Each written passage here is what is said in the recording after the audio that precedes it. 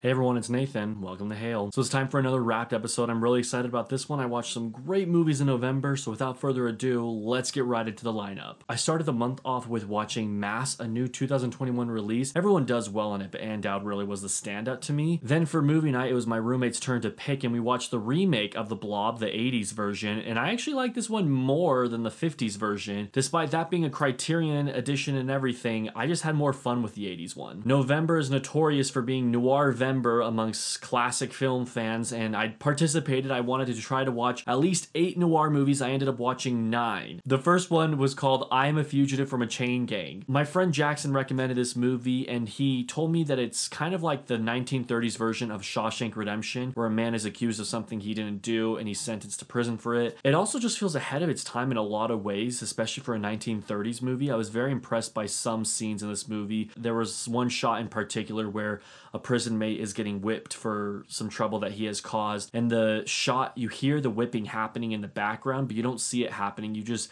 have a camera panning down this aisle of cellmates sitting down in their bed listening to the whipping as they're going to bed and it was just really powerful i then watched eternals and i liked it more than other people but i think that I, I liked it more the night of watching it. Looking back on it now, it's definitely gone down. I think I'm just not as big of a fan of Marvel movies as I used to be. As part of my 25 movie challenge and Noirvember, I checked out No Way Out, a movie that was on the Criterion channel in November, and it was one of my favorite watches of the entire month. Starring Sidney Poitier, it's about an African American doctor who operates on a white man. It's a story of racism. It actually really reminded me of West Side Story, just without the music, of course Fun fact, it's Sidney Poitier's first starring role, first movie for that matter, and he is still just so good. He's good in anything that he does. Continuing my 25 movie challenge, I checked out Stromboli, and it just wasn't for me. I thought it was very boring. I wasn't a fan of any of the characters really, and I didn't have a good time with it. I understand that this is a very niche type of genre of film, and some people really dig it. Maybe I watched it on a bad night or something because I just couldn't get into it. Once again, it was roommate's turn to pick the movie. We watched The Cave leave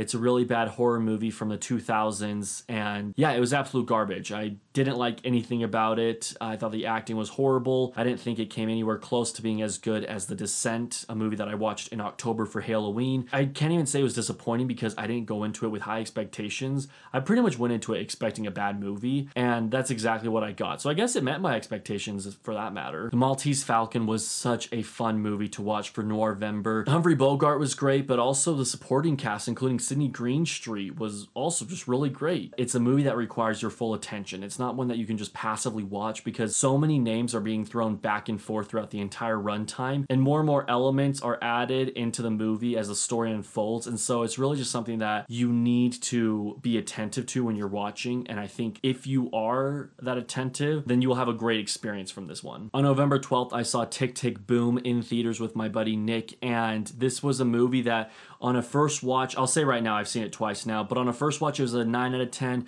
on a rewatch, it became perfect in my eyes. Andrew Garfield is currently my pick for Best Actor. I also just love the story of following your dreams. I love that whole message of actions speak so much louder than your words. That meant so much. It's currently in competition for my favorite movie of the year. I can't decide between Tick Tick Boom and Dune. It's a very neck and neck tie. I've seen both of the movies twice. I won't be able to have an answer until I release my top 10 of 2021. Passing was a new movie that came out on Netflix in November, and it was a very simple quiet and subtle movie that I actually really enjoyed. The story just really gets you thinking about how sad it is that some people live their lives like that. It was really well done. I think that everyone does a good job here, and I like that the cinematography is in black and white. Intermezzo was my fourth watch from Ingrid Bergman for my 25 movie challenge, and this was actually one of my favorite ones I've seen of her for this challenge. The movie is in Swedish, and so she isn't speaking English at all throughout the movie. It's about her having an affair with a musician, and it's actually a pretty sad movie, to be completely honest, but I think that Ingrid Bergman really does well in this movie. She's also more beautiful than ever. For her being so young, I was just really impressed with how well she did. I watched a long time coming criterion that I own called Tokyo Story. The father in this movie, the older man, I didn't like his performance at all. He just always seemed very oblivious to me, whether he was happy or sad. I, I never felt like I could connect to him because it always felt like he was just you know, just like kind of there staring off into the distance. It just didn't resonate with me like other movies have of similar plots. Like, for an example, the movie Make Way for Tomorrow was very similar to Tokyo Story, and I just enjoyed Make Way for Tomorrow a lot more. Belfast is getting so much Oscar buzz for the best picture pick, and I don't even think it should be nominated. I don't know. It just was really boring. I didn't feel connected to any of the cast members. Uh, really, the only scenes that I enjoyed were anything that involved this young boy going to some sort of fine arts production, whether it was a play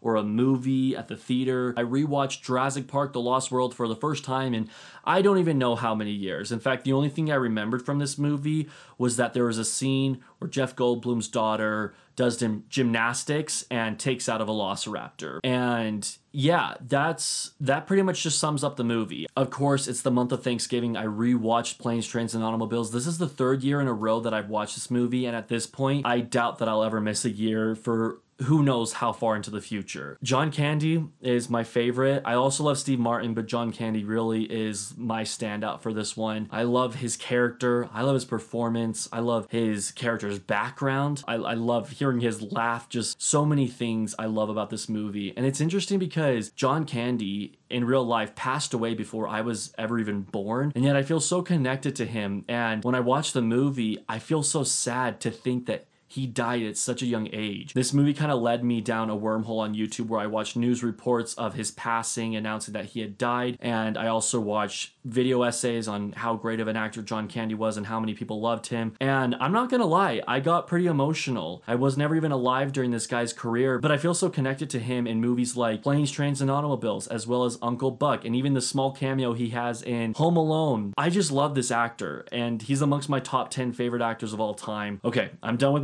little John Candy speech. Let's move on to the next movie. I actually I just looked at my list of movies that I watched and I want to keep talking about John Candy now because I realize the next one I have to talk about is Home Sweet Home Alone, which was such a garbage packed movie. It was offensive to me. The fact that they used John Williams' original score in this awful movie hurt my heart so much. I watched it with a group of friends and when the movie ended some of the friends were like, "All right, like I like this part of it." And but like I couldn't think of one thing I liked about it, so let's just move on. I watched Laura and really enjoyed it, especially a twist that happens in the movie about, I think it was about halfway through. I honestly wasn't expecting and I really liked it. The story went into a direction that I didn't see coming and I enjoyed it. Continuing my noir watch, I checked out The Sweet Smell of Success, which also is in competition with No Way Out as my favorite noir and favorite movie of the month because this movie was just amazing. The first 45 minutes are a night on the town. You see all these problems in the city and you see the situations that this press agent gets himself into. And then the second half of the movie is devoted to the daytime, the day after that night in the city, and basically paying for the problems that started the night before. I love the dialogue. One of the best written movies I've ever seen in my life. It was just that good. Very impressive screenplay. All the performances are great. I think this is the best I've seen Tony Curtis in. I then checked out King Richard, another 2021 release, and I enjoyed it. I thought it would be more about Serena Williams, but I kind of liked that the spotlight was on Venus Williams Williams. I thought that was kind of a cool surprise. Will Smith is a lot of people's front runner for Best Actor this year. I do think he definitely will get a nomination and he probably will win. But as far as my personal picks go, I'm still rooting for Andrew Garfield. Mildred Pierce was actually a movie I picked up in this month's Criterion sale and I watched it the night of picking it up and I was not disappointed. The reason Mildred Pierce stands out above other noirs and Criterions for that matter is because it is a completely female led movie. I feel like the females are normally the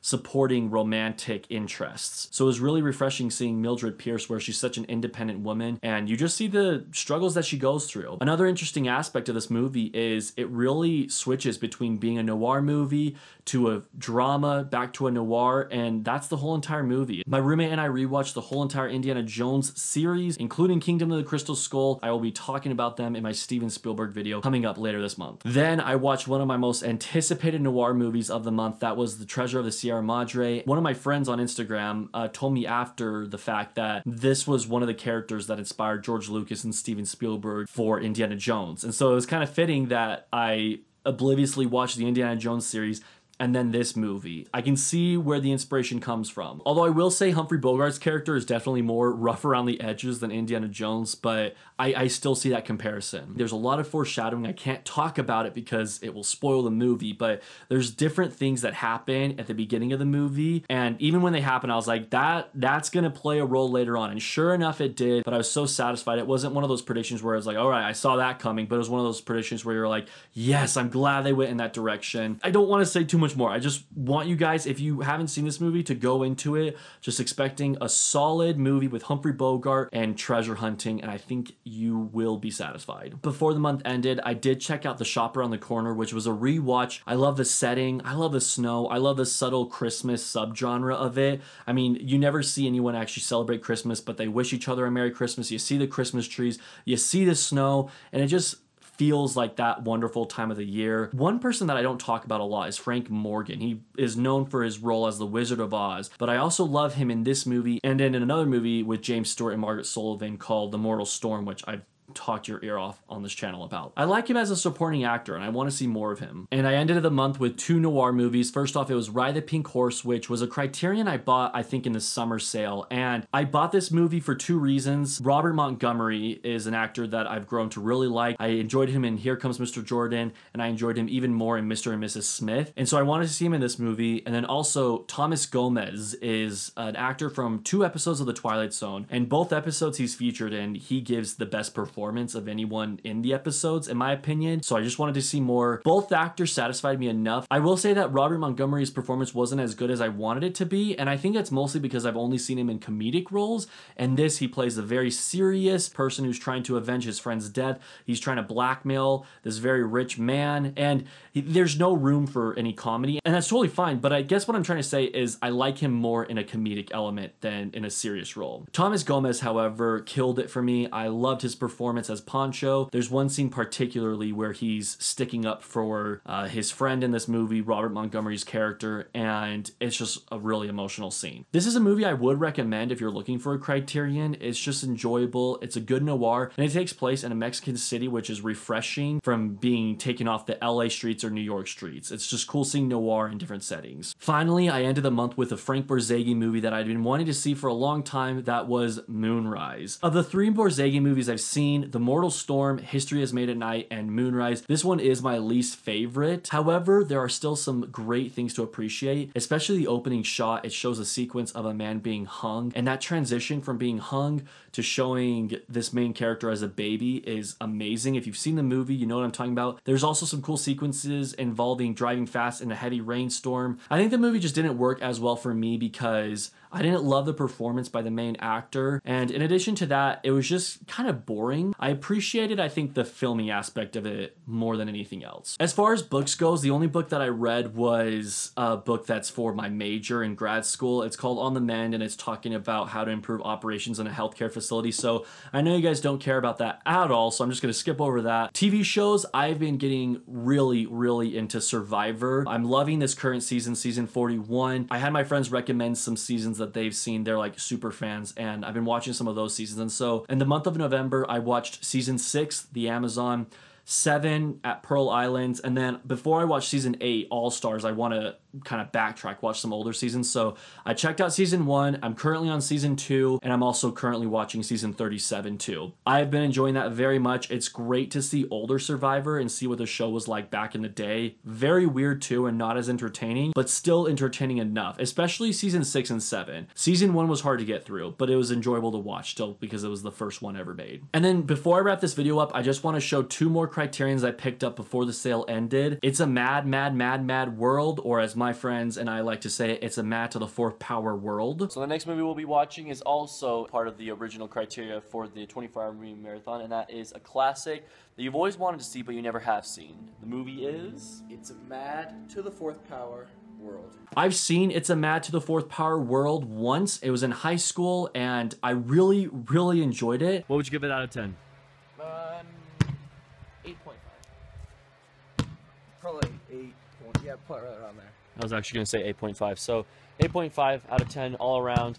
Enjoy the movie. It was funny. So Yeah. And then I picked up They Live by Night, which was a movie that grabbed my attention for a few reasons. One, it has a little bit of Christmas in it. I know that. And it's December, so I want to watch it during this month. But I know it's not known as a Christmas movie. It also stars Farley Granger, who is in Strangers on a Train and Rope, two Alfred Hitchcock movies I really, really like, and I like his performance in both of those movies. In addition to that, it's directed by Nicholas Ray, who has only been good for me so far. He directed Rebel Without a Cause and In a Lonely Place, two movies I really enjoy. And so we'll see if he can keep up the streak with this one. I'm excited to watch it. I don't have too many life updates, so I'm just to wrap it up, guys. Let me know what movies you watch, what TV shows you're into right now. November was awesome. Let's finish this year out strong. Thank you guys for watching. Have a great day.